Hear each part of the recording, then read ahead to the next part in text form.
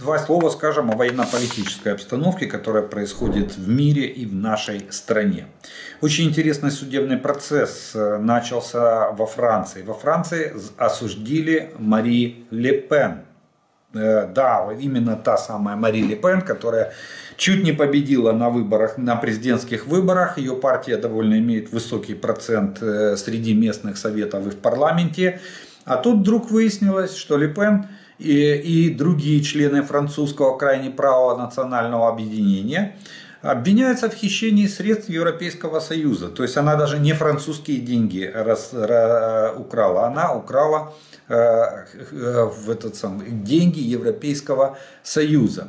И фиктивный, фиктивный найм ассистентов депутатов Европарламента – если вина в ходе следственного процесса Мари Ле Пен будет доказана, она не сможет выдвинуть свою кандидатуру на президентских выборах 2027 года. То есть ее политическая карьера, э, ну если вина будет доказана, она понесет криминальное, э, будет нести криминальную ответственность, и, и на этом ее политическая карьера будет полностью завершена. Ее связывали что с Российской Федерацией, с Путиным. Э, было очень много публикаций материала, что ее партия получала финансирование от Российской Федерации. Кстати, именно это послужило началом расследования спецслужбами Франции, в результате чего они вышли, что они не только э, получали деньги из РФ, они еще и тырили деньги Европейского Союза, э, ну, списывая ведомость, липовые, мертвые души у них были, помощники евродепутатов вот этого национального объединения, э, они, они числились и за них расписывались и денежки ложили себе в карман. Вот. Так что э, обвиняются они в хищении почти 7 миллионов евро. Максимальное наказание по этому обвинению до 10 лет лишения свободы. Сообщается, сообщается, что Мари Ле Пен сейчас резко собирает деньги и возвращает их Европарламенту. На, на данный момент э, вернула Мари Ле Пен э, вернула 330 тысяч евро. Ну, с 7 миллионов 330 тысяч евро, вы понимаете, что это капля в море. Кстати, также на, на скамье подсудимых вместе с самой Марин Ле Пен э, оказались ее сестра Ян э, Ле, э, и, и бывший партнер Луи Алио. В списке обвиняемых также значится отец Марин Ле Пен, 96-летний Жан-Мари Ле Пен но ему разрешили не участвовать в заседаниях по состоянию здоровья. Хотя он э, обвиняется. Если будет вердикт обвинительный, то его должны поместить э, в места лишения свободы, даже в 96 лет. Помните, как Пиночета уже в инвалидном кресле, но все равно тянули в тюрьму, э, чтобы он отбыл наказание за те преступления, которые, которые, в которых его признал виновным суд. Так что у Липен очень такое, я бы сказал, тюремное э, будущее может, может нарисоваться в результате этого судебного процесса. И я скажу, что это огромный удар по ультраправым в, во Франции, по вот этому правому движению, которое связывает, неким образом связывает с Российской Федерацией. Э, далее, экс-премьер Нидерландов Марк Рюте стал новым главой НАТО сегодняшнего дня. Он, его избрали еще два месяца назад, но он сегодня приступил к исполнению обязанностей, полностью стал полноправным генеральным секретарем Североатлантического альянса. Он принял полномочия генерального секретаря НАТО от своего предшественника Йенса Столтенберга. На церемонии в Брюсселе э, это произошло и пообещал, что помощь Украине останется приоритетом для Североатлантического альянса. Ну, кстати, в его первом же заявлении он сказал, что я поддерживаю удары оружием НАТО по целям Российской Федерации. Но эти решения будет принимать каждая страна Альянса сама. Новый генси... Э, об этом заявил Рюты. Также на его брифинге, из его брифинга мы слышим, что без поддержки США Украина, скорее всего, не было бы сегодня как страна это мы понимаем. Расходы на поддержку Украины намного меньше, чем те, с которыми мы столкнемся, если, пути, если Путин добьется своего, то есть захватит Украину и пойдет дальше на Европу. В Европе не может быть крепкой безопасности без сильной независимой Украины. Вот это основные тезисы, которые касались нашей страны из его брифинга на церемонии вступления в должность в Брюсселе. Ну, я скажу, что Рюте может, на мой, э, на мой взгляд, он даже может повлиять э, на мнение Джо Байдена. Я думаю, что наверняка будет разговор с Джо Байденом, потому что позиция Рюте, надо Украине дать столько оружия, сколько необходимо для разгрома российских войск на территории нашей страны. Они прекрасно понимают, что Путин не остановится и без э, военного поражения говорить о каких-либо Э, дальнейших о какой-либо дальнейшей мирной и безопасной жизни в Европейском Союзе речи быть не может. Далее у нас э, такое событие, как Кабинет министров разрешил воинским частям набирать себе призывников без участия территориальных центров комплектования. То есть это прямой рекрутинг. Каждая часть набирает себе. А, командир воинской части может осуществлять комплектование части добровольцами и предоставлять им направления для прохождения ВЛК.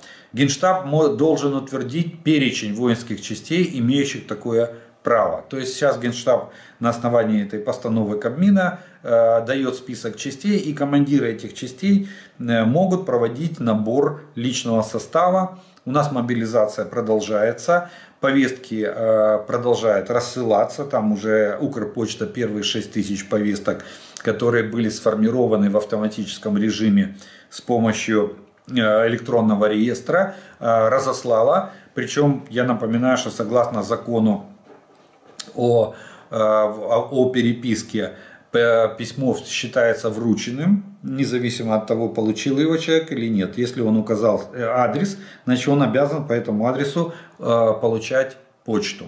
И, соответственно, считается, что если на этот адрес пришло письмо с уведомлением, он его, э, то человек его получил. Если в нем повестка, значит он считается, что он получил повестку. Это с момента прихода письма по адресу Э, указанному этим военнообязанным.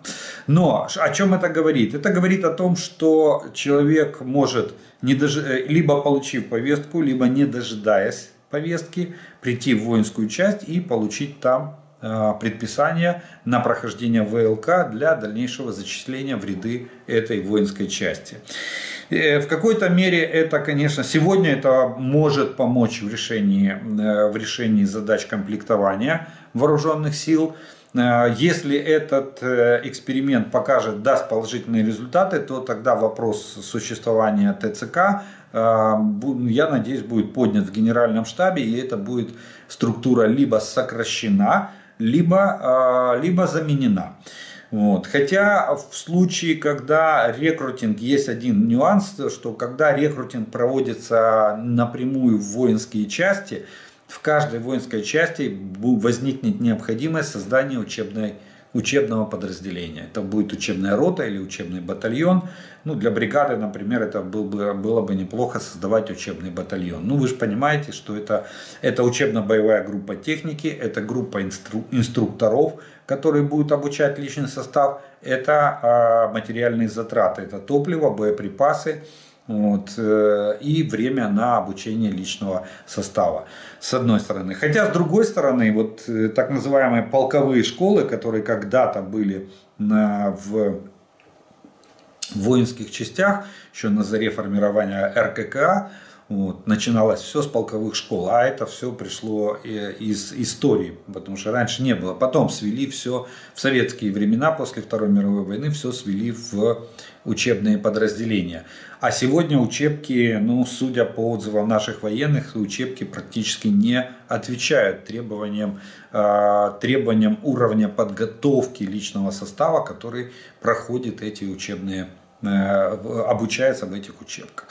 Так что наблюдаем внимательно, смотрим, насколько это будет, э, поможет нам, насколько это будет успешно. Но, кстати, в этом плане и свобода выбора. Каждый человек может э, прийти в ту бригаду, которую, в которой он пожелает служить, которая ему нравится. Плюс есть возможность выбора профессии, а не так, что если ТЦК забрала по повестке, Э, отвезли в учебный центр, там построили, сказали, вы все пехота. И все. и никого ничего не волнует. А, вот этого, такого подхода к мобилизованным можно избежать благодаря прямому рекрутингу в воинские части. Далее, Ближний Восток. Что произошло э, за последние сутки? Вчера мы с вами разбирали, вчера я вам рассказывал о том, что э, к вечеру, во второй половине дня, когда записывался ролик вчерашний, э, стало известно, что в Генеральном штабе армии обороны Израиля было принято решение о проведении сухопутной операции на юге Ливана по созданию буферной зоны, ну как минимум в 20 километров для безопасности северных регионов Израиля. И на момент записи ролика было известно, что спецназ армии обороны Израиля зашел на территорию Ливана для подготовки плацдарма э, и для входа в сухопутных войск э, а, а, Цахала. И ночью, поздно ночью появилась информация о том, что э, Соединенные, а, и Соединенные Штаты, я вам, я вам говорил, что Ллойд Остин отдал распоряжение на приведение в боевую готовность некоторых подразделений на военных базах или целых военных баз на, как на территории США, так и за ее пределами. И в Европе, в том числе армии Соединенных Штатов Америки. И готовились к переброске до 5000 военнослужащих это уже стало известно ночью, что США готовят переброску до 5000 военнослужащих, кроме тех, которые я вам обрисовал, это спецназ, э, который находится в составе одной из авианесущих ударных групп, э, стоящих у берегов Израиля, их там две стоит. Вот. И еще двух групп, одна в Средиземном море э, в районе Крита и Кипра, а вторая в, недалеко от берегов Ирана. Вот. Так вот, э, поздно ночью Соединен... это Израиль официально уведомил э, Соединенные Штаты о том, что они начинают сухопутную операцию. Хотя ожидалось, что она может начаться в ближайшие 72 часа. Но не прошло и нескольких часов, как э, армия обороны Израиля двинулась на территорию Южного Ливана. Естественно, по классике военного, военной науки были нанесены ракетно-авиационные удары высокоточным оружием по, опять же, по пунктам управления э, Хизбаллы и армии Ливана, по складам э, предполагаемым, ну и по огневым точкам, которые находились на территории Ливана. После чего сухопутные войска э, армии обороны Израиля вошли в, юж, в Южный Ливан. Сейчас идет, что сейчас происходит? Э, а, а, а, Генеральный штаб армии обороны Израиля говорит, что операция будет иметь ограниченный характер. Э, Цахал проводит точечные наземные рейды в селах, расположенных рядом с израильской границей. Практически они проводят зачистку э, на, и фильтрацию населения на предмет принадлежности населения к террористической организации Хезбалла. Э, непосредственная угроза э, э, вот, населения, которая представляет собой непосредственную угрозу для поселений на севере Израиля. Это, кстати, те села, откуда летели ракеты по территории Израиля.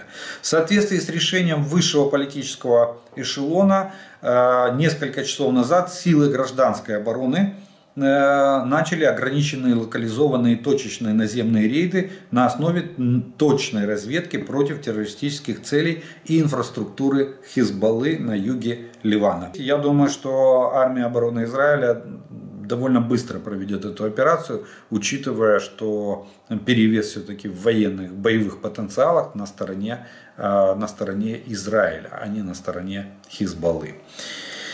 Ну и а, новость из-за поребрика а, очень важная, потому что Российская, а, Российская Федерация со своими спецслужбами, они готовят очередную пакость на мировом уровне.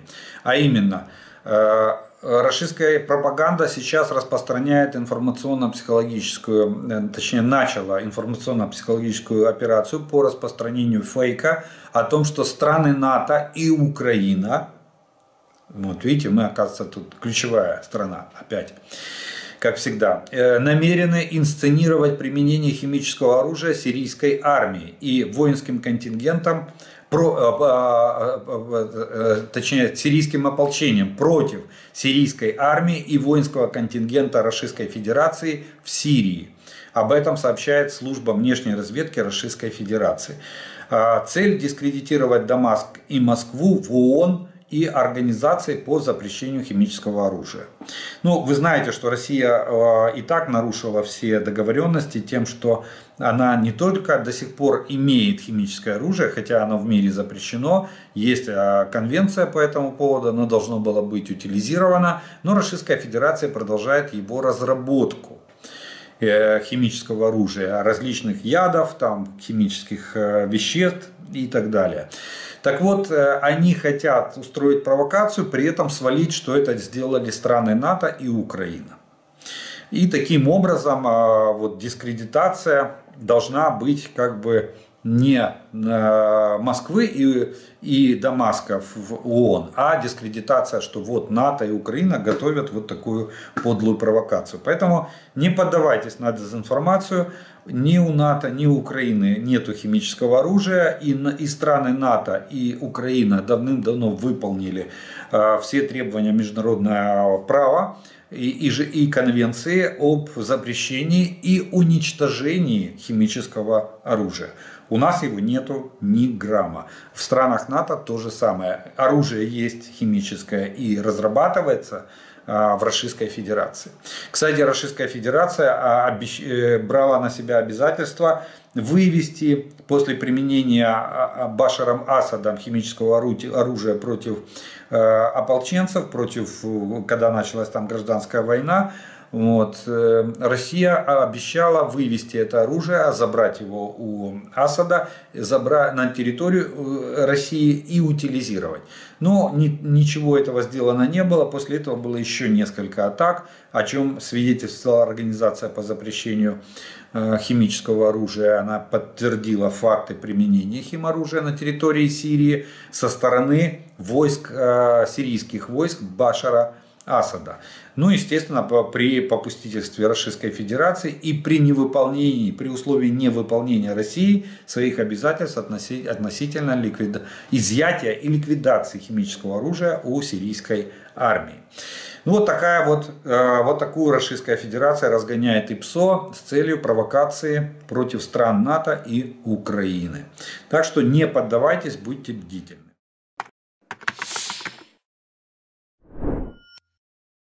Мы поговорим немножко о военных операциях.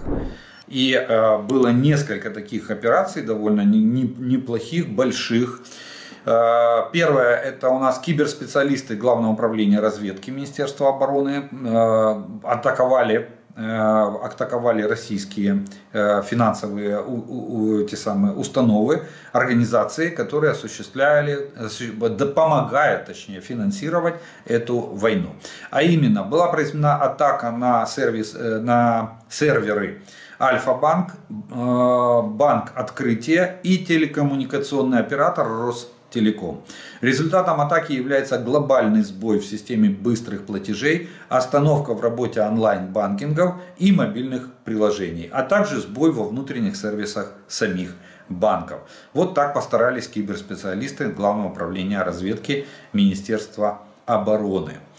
А служба безопасности Украины ну, поработала, как всегда, отличилась своими дронами.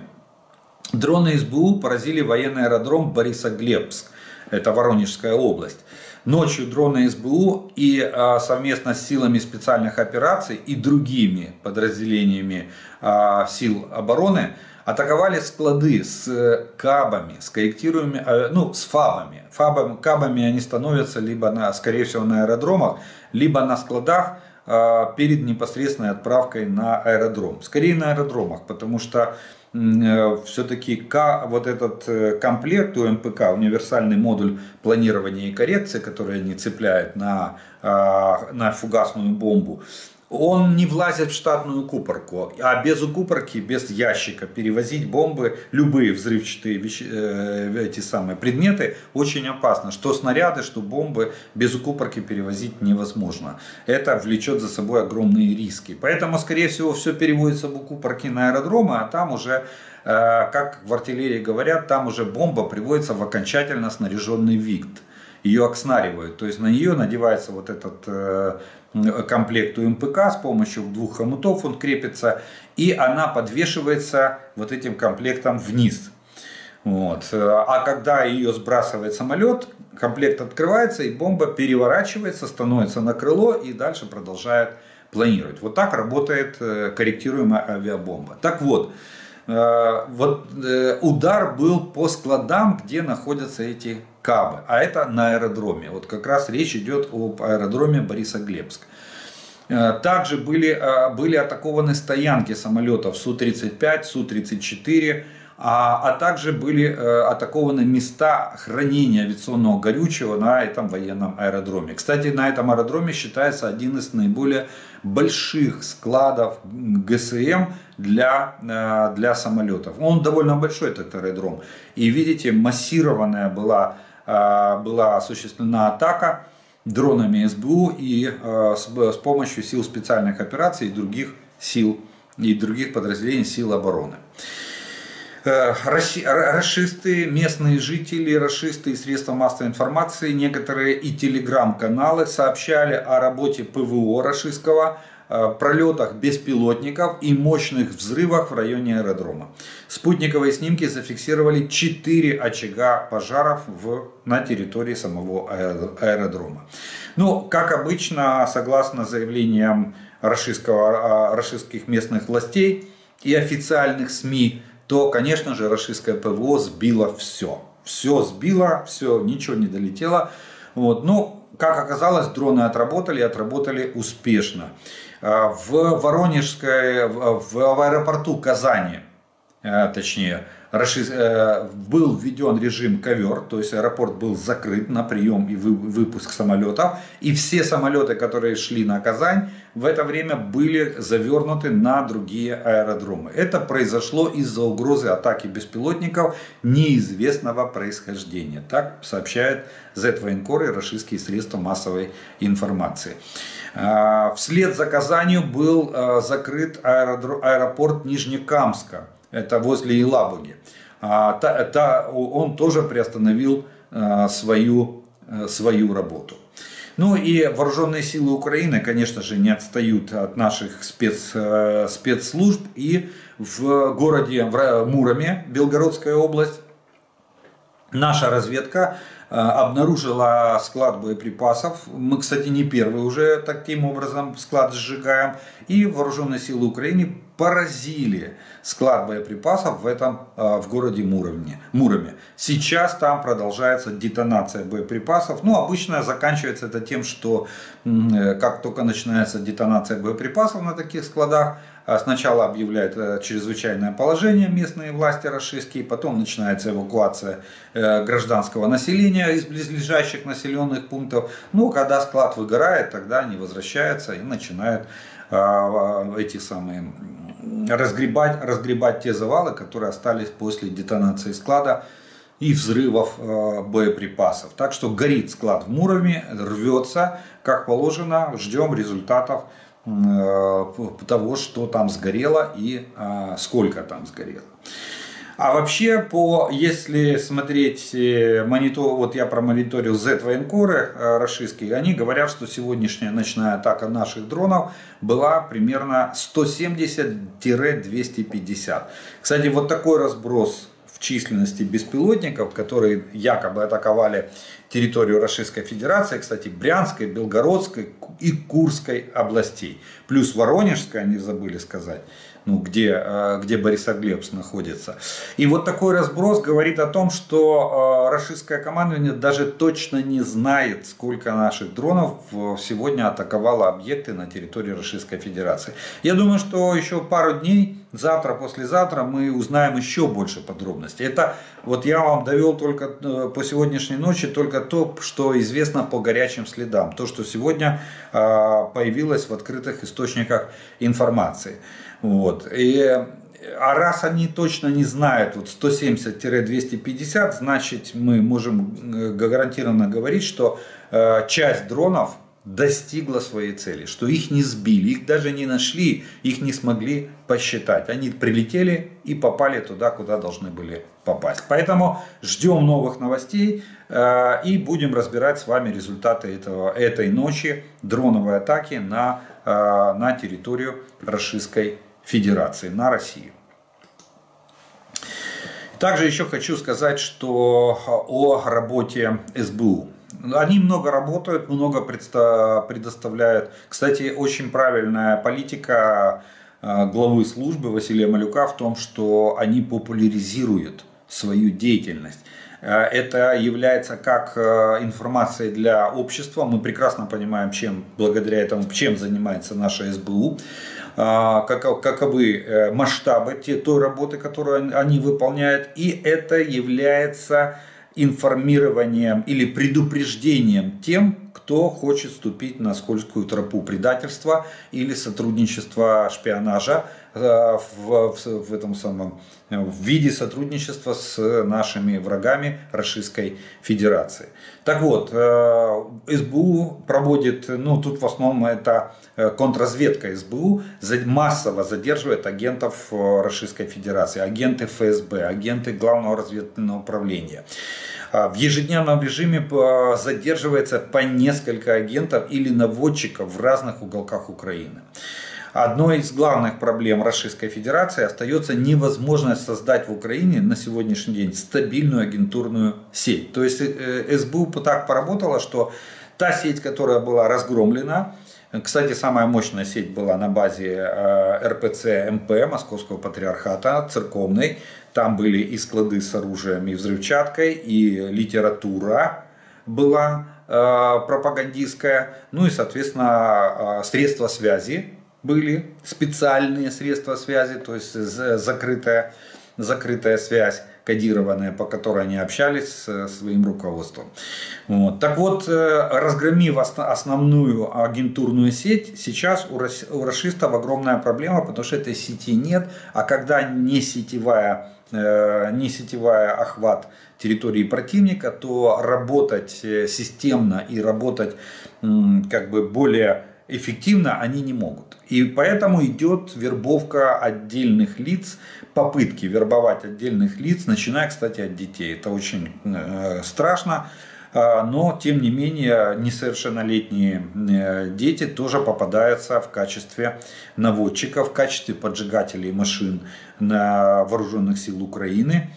Ну и плюс те, кто является а, агентами, то есть законсервированными или заброшенными, ну в основном законсервированных они используют, которых когда-то где-то завербовали, они дали какую-то расписочку и теперь их держат, был компромат, их держат на крючке. Так вот на базе таких вот консервов они пытаются вербовать и создавать, хотя бы пытаться создавать ячейки.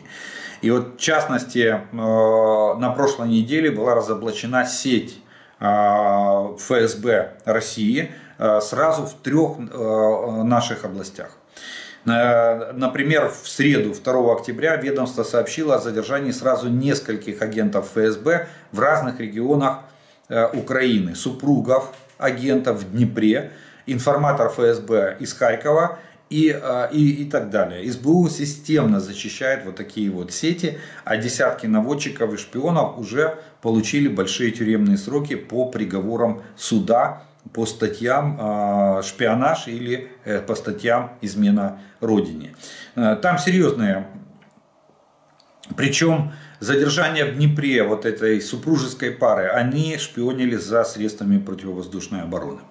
Там и так у нас э, приграничных городах Днепр, Запорожье, Херсон, там огромная проблема со средствами ПВО. Представьте, теперь эта супружеская пара работала на а, расистов и сдавала координаты э, районов, где разворачивалось наше ПВО, чтобы те могли нанести удары, ракетные удары баллистикой по нашим средствам ПВО. В Харькове а, информатор ФСБ э, задержан, преподаватель университета Харьковского. Вот такой вот парень работал на, а, на ФСБ, рассказывал о передвижении вооруженных сил Украины в Харькове, где, что, куда и так далее.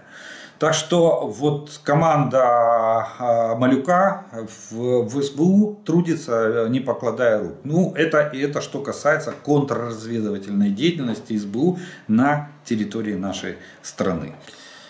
Ну, а теперь э, поговорим немножко о военно-политической э, составляющей. И она, наверное, больше военная, потому что все, конечно, все взгляды прикованы к Израилю.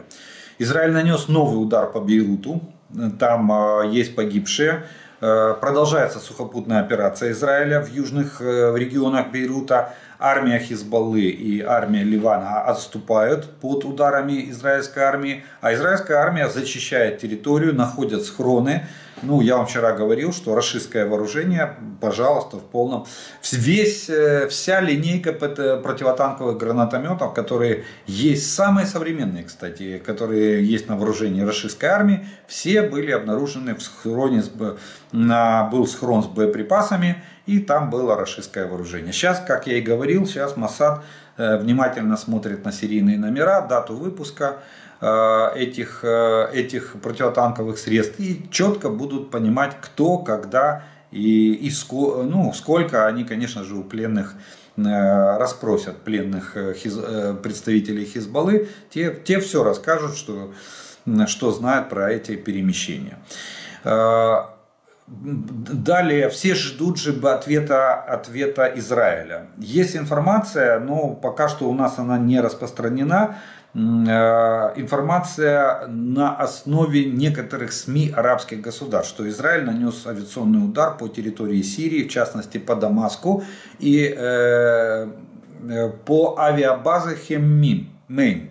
Это самая крупная авиационная база, и это база, на которой базируется российская авиация в Сирии. Вот. Э, вроде бы как туда прилетел военно-транспортный самолет, кстати, Ил-76, по некоторым, по некоторым данным, из Ирана и привез очередную партию оружия для Хезбаллы. И поэтому по этой базе был нанесен авиационный удар. Пока до сих пор, вот э, это было утром новость, до сих пор нигде больше это не упоминалось э, после этого.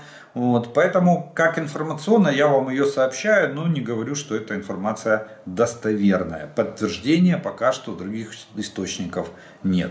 А Израиль готовит, готовит э, ответный удар. Я думаю, что этот удар будет очень серьезный. Почему? Потому что, как выясняется сейчас, э, ущерб все-таки был нанесен. Несмотря на такой довольно хороший э, коэффициент сбития воздушных целей со стороны ПВО и ПРО Израиля. Но тем не менее часть ракет достигла своей цели, все-таки нанесла ущерб э, Израилю и военным объектам Израиля. Вот Шпигель пишет о том, что иранские ракеты смогли преодолеть израильскую многоуровневую систему ПВО в ходе массированной атаки. Издание отмечает, что в этот раз ракетная атака оказалась значительно успешнее, чем предыдущая. Ирану удалось поразить военные цели своего заклятого врага, даже э, с оружием, которое было использовано впервые. А что именно? Иран заявляет, что впервые применил ракету «Фатах-1», свою первую гиперзвуковую баллистическую ракету. Также он применил и другие новые ракеты с дальностью в 1450 километров и скоростью, позволяющей достичь Израиля всего за несколько минут. У Ирана есть не менее 3000 баллистических ракет, поэтому Израилю следует подготовиться к будущим ударам, особенно если к Ирану присоединятся ливанская Хизбалла и хуситы со своими арсеналами. Вот, вот такая, такую информацию опубликовал Шпигель. Отсюда мы делаем вывод, что Израилю просто кровь из носа необходимо нанести удар по вот этим ракетным складам. Иначе а, они будут вот так вот отбиваться. И видите, а, а, как бы каждый следующий удар будет, будет хуже предыдущего. И может достичь большей цели. И Иран приобретает боевой опыт, нанося эти удары. И израильское ПВО, естественно, пропускает голы из-за массированности самого ракетного удара. Так что ждем, как отреагирует Израиль. И, э, хотя Соединенные Штаты, опять же, администрация Байдена там ведет переговорный процесс и просит, чтобы Израиль согласовал цели и объекты ответного удара в Иране. которые они собираются поражать. То есть, ну, понимаете, какой-то бред. Э, хотят, чтобы Израиль отчитался, согласовал, и если американцы дадут добро, они нанесут удар. Я думаю, что Израилю надо планировать и наносить удар, а потом уже э, согласовывать э, постфактум, это с, если Байден так хочет. И я смотрю, Байден, вот он недаром он был вице-президентом у Обамы, видно, заразился от Обамы. Тот премию мира Нобелевскую получил, когда у нас аннексировали Крым и часть нашей территории в Донецкой и Луганской области. А Обама тогда получал Нобелевскую премию мира. И, соответственно, ну, по некоторым источникам он э, настаивал на том, чтобы мы не оказывали сопротивления, особенно в Крыму. И то же самое сейчас Байден не разрешает применять американские ракеты по, на всю дальность их досягаемости, то есть на 300 километров по территории Российской Федерации. Ну и с поставками вооружений, мы это уже знаем, то дают, то не дают. Вроде как дают, но как дают? Вот те же F-16, да, сколько мы страдали и ждали, полтора года, дали F-16, и что толку? 9 самолетов, а, которые не принимают участие в боевых операциях, который поднимается в воздух в качестве компонента системы противовоздушной обороны. И все. Да, те, а смотрите, как тема ушла с, э, с информационного пространства. Все, успокоились, получили F-16, а толку от них? Пока что толку от них минимум. Минимум. Да, они помогают нам в защите от воздушного нападения российских войск, но они не выполняют огневых задач. Посмотрите, что творит российская авиация с нашими войсками на линии фронта. Преимущество в воздухе, авиационная компонента обеспечивает больше 50% э, успеха российским войскам на линии фронта. Чтобы вы понимали. А артиллерия и авиация – основа огневого поражения противника. В данном случае авиация, она более сильнее, более масштабнее. Артиллерия, она э, менее масштабна, но тоже, тоже достает, э, достает очень сильно наши войска. Вот такая вот, вот такая вот история с ситуацией на Ближнем Востоке. Новый генераль, генеральный секретарь НАТО Рютте встретился с президентом Зеленским. Это очень показательно. Первый визит генсека НАТО в Киев. Он прибыл сегодня в Киев утром. Э, но это первый его визит в должности генерального секретаря НАТО, то есть в новой ипостаси. А э, вообще э, Рюте пятый раз с, с начала масштабного, полномасштабного вторжения российских войск в нашу страну. Э, и, кстати, из такого самого главного, то, что он сказал, ну, поддержка Украины, это понятно, он довольно большой наш сторонник. Он сказал самое главное, что разрешение бить дальнобойным оружием по целям в Российской Федерации будет обсуждаться на Рамштайне 12 октября. Так что ждем 12 октября. Э, ну, честно говоря, может быть разрешение будет дано, но оно может быть отсрочено. Я вообще так склоняюсь к тому, что цифра точнее дата а, начала его применения этого разрешения, если оно будет согласовано 12 октября, может быть, э, может быть где-то 5-6 ноября. Особенно 6 ноября и далее. Почему? Потому что 6 ноября утром мы с вами узнаем, э, узнаем кто же стал президент, новым президентом Соединенных Штатов Америки. От этого будет зависеть очень и очень многое. Далее Люксембург присоединился к коалиции дронов, об этом сообщает Министерство обороны. Это 17 стран партнеров, которая, 17 страна из числа партнеров, которая присоединилась к инициативе коалиции дронов, в рамках которой Украина уже получила тысячи беспилотников. Ну вот каждый раз пакет помощи, особенно страны Балтии, э, Э, передают нам, и там, там 1000 беспилотников, 500 беспилотников, 2000 беспилотников, ну и другие тоже страны постоянно передают нам беспилотники. Причем как разведывательные, так и ударные беспилотники для борьбы с российскими оккупантами. Далее Румыния. Смотрите, как быстро. Румы... Надо огромное спасибо румынскому народу и их политическому руководству, потому что ну, тогда мы говорили, что это чуть ли не, рекордсмены в принятии решений. Министерство обороны э, вносит предложение подарить, подарить Украине Патриот, комплекс 1.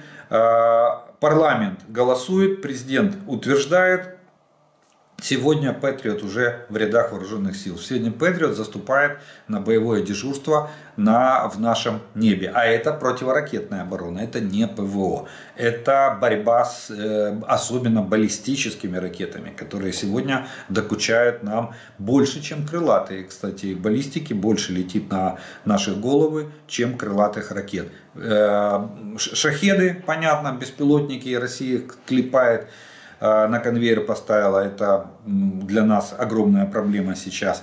Вот. Но мы уже учимся с ними бороться с помощью мобильных огневых групп, в основном мобильных огневых групп и тактических средств ПВО, то есть ближнего радиуса действия, типа Гепард. Вот. Skynew э, тоже у нас новые есть э, и другие.